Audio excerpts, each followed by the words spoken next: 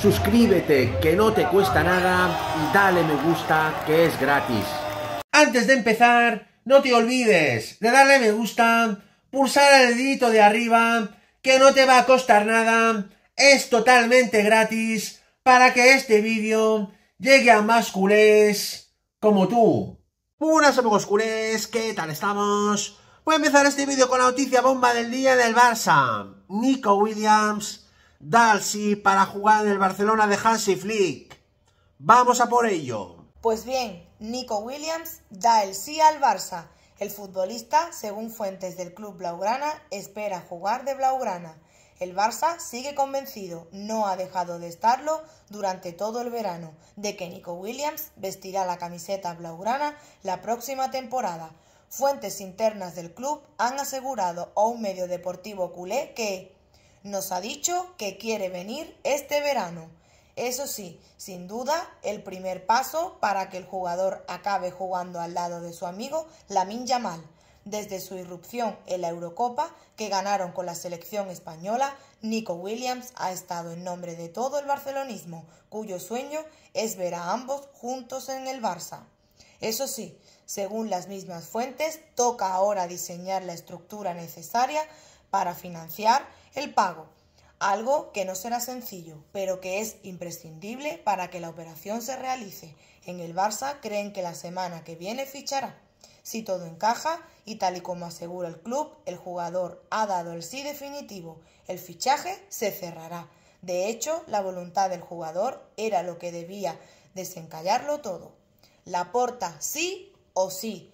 Para ello, además de haber seducido al jugador con un contrato a la altura del fichaje que se desea realizar, algo que Deco empezó a fraguar en la reunión que mantuvo con su agente Félix Tainta en Zaragoza. También habrá que pagar la cláusula de rescisión.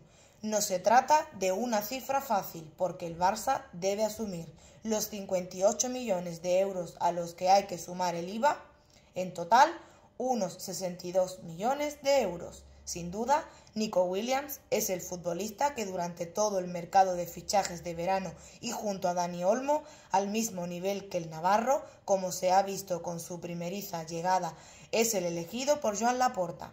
El presidente está dispuesto a tirar la casa por la ventana para construir un equipo ganador con Hansi Flick en el banquillo. Pues bien, como hemos escuchado, ya falta muy poquito para ver a Nico Williams con este escudo en su pecho. Seguimos con la noticia del día de nuestro querido Barça. El club dará homenaje a Sergi Roberto después del Gamper. Merecido. Vamos a por ello. Pues bien, Sergi Roberto dirá adiós al Barça este martes en el Camp Nou.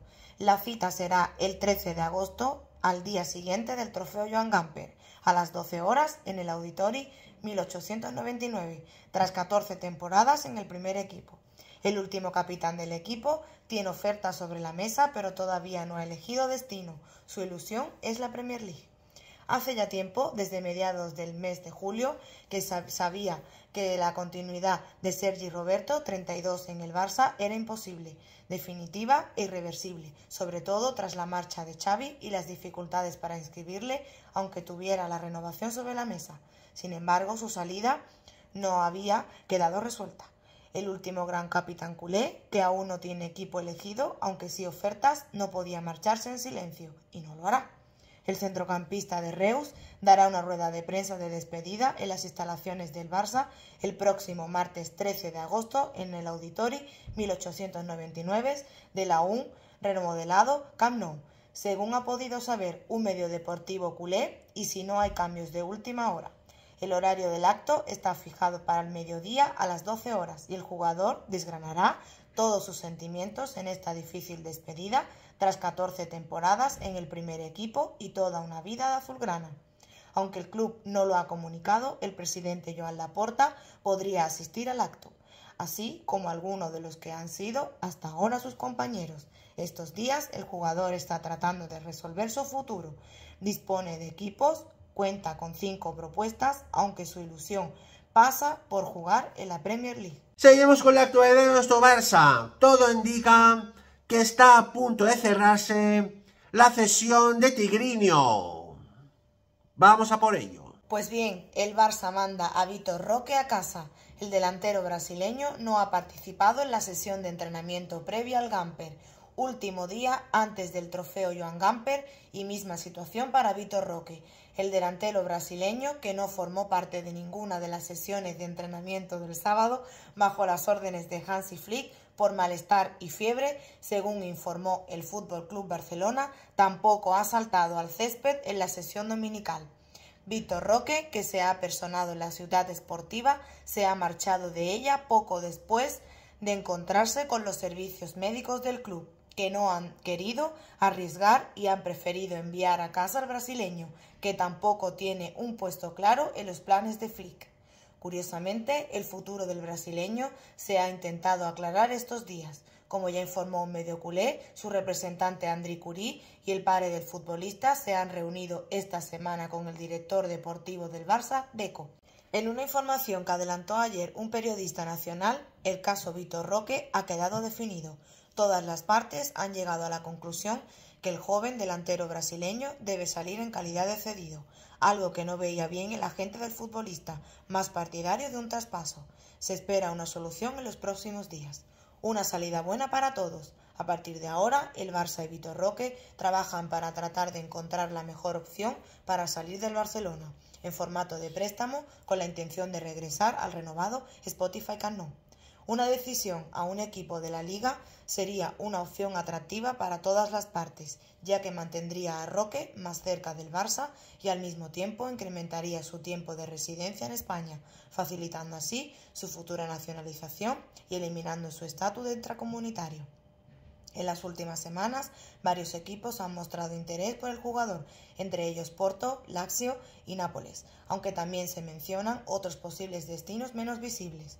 Aunque ha tenido pocas oportunidades con el Barça, el mercado sigue considerando a Roque como un delantero con gran potencial, capaz de convertirse en un habitual de la selección. Le deseo de corazón buena suerte a Vito Roque. Y ahora sigamos con el temazo principal. Partidazo mañana.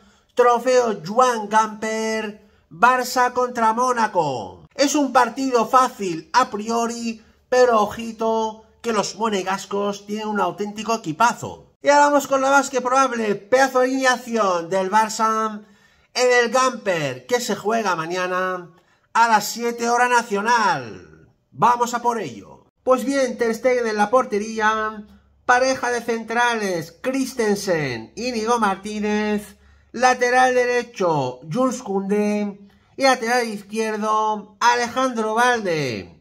Doble pivote nuestros dos nuevos cracks canteranos, Marc Casado y Marc Bernal. Ilkay Gundogan, acompañado al centro del campo, también jugará a veces como media punta, como sabemos Hansi Flick.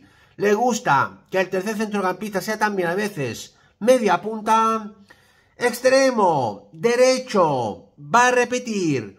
Otro crack, también en este caso canterano medio canterano, Pau Víctor.